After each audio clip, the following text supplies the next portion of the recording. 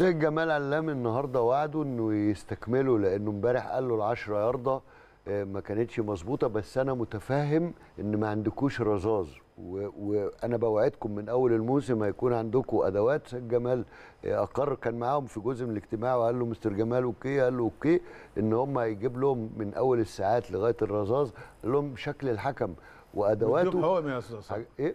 يرفع حقوقهم. حاصل حاصل. بس قال يعني لهم حاجة برضه. يديهم حقوقهم بس قال لهم حاجة. مهمة يعني برضه. قال لهم. أنا عايز منكم 10% إلى نهاية الدوري الحالي. أقدر اطالب لكم بكامل الحقوق قدام رئيس الاتحاد وأقر رئيس الاتحاد وده حسنا انفعل يعني الحقيقة. وبالتالي أنا زي ما قلت لحضراتكم والكابتن إسلام يعني ابتسام لي ابتسامه رضا أنا حبيتها يعني النهارده فيه لأنه فعلا الصح لا الصح ملوش ملوش يعني فعلا مخرجين.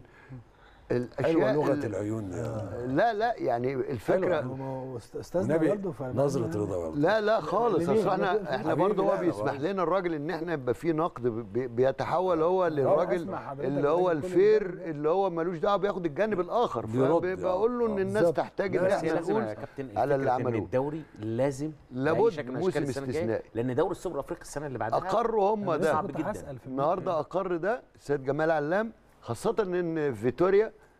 والراجل كلاتنبرج ومدرب الشباب آه. اتفقوا على موسم بيسموه موسم rest للكرة المصرية من الناشئين للكبار okay وإلا هتفقدوا أشياء كثيرة صراحة إحنا بس شايفينها هل ستوافق كويسه الأندية على هذه الأمور؟ ما هو- هم حاسين أو السيد جمال علام تقريبا من فوق يا ريس. نقل لهم يا أستاذ محمود. إنه آه. إنه الأندية في طريقها للبحث أما وإنك هتديله نموذج كويس زي ما قال وتاخد عليه موافقة عبد الحكيم هيوافق عليه. لابد من موسم توافقي يا كابتن لابد.